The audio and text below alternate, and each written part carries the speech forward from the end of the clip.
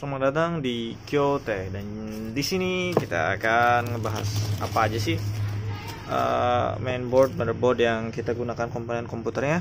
Yang pertama yaitu prosesor dari prosesor i5 3450. Ini prosesor untuk motherboard G61 dan motherboard yang dipakai yaitu motherboard MSI MS7717. Kalian jarang dengar kan ya? Iya saya juga jarang dengar dan ini ada LG Electronics ya kalau pas di BIOSnya dia. Dan RAM-nya saya pakai 4 GB SK Hynix 12800 dengan kecepatan 1600 MHz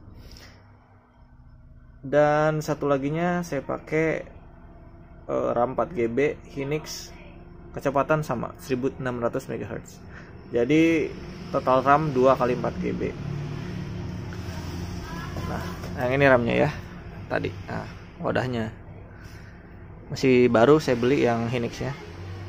Dan ini untuk SSD nya saya pakai SSD SATA 3 Cleve Neo yang 240 GB cukup cepat ya. Tadi bootingnya sekitar 20 detik.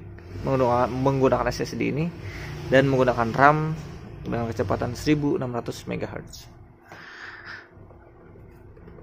dan nah untuk keperluan wifi saya pakai ini TP-Link yang PCIe wifi. Harganya cukup murah ya. Dan juga kecepatannya keren loh mantep. Lebih cepat PCIe wifi daripada USB wifi yang saya rasakan ya.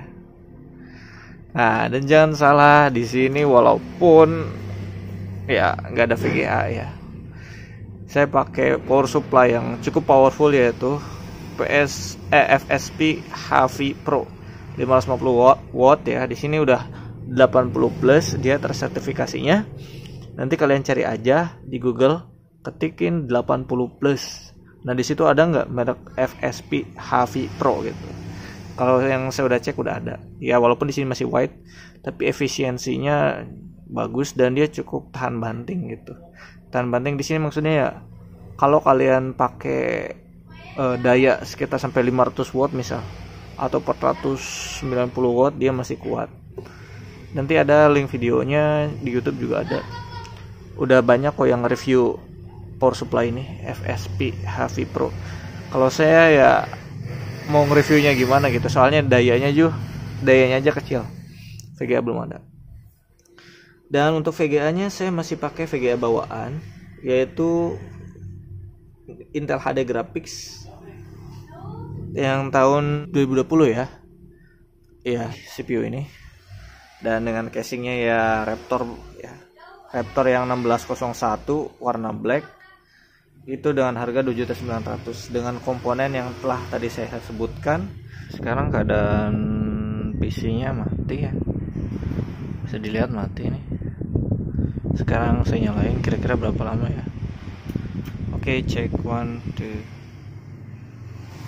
Oke okay, dari menit ke 12 eh, ke detik 12 ntar kita lihat. Berapa lama loadingnya?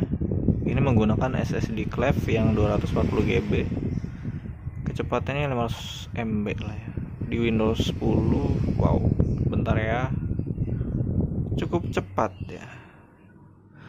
Dari 12 ke 32 sekitar 20 detik.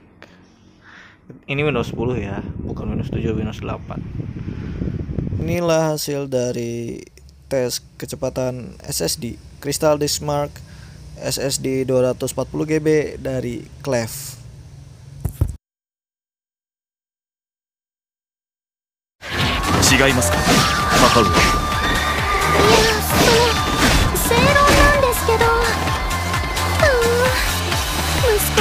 大师在那一。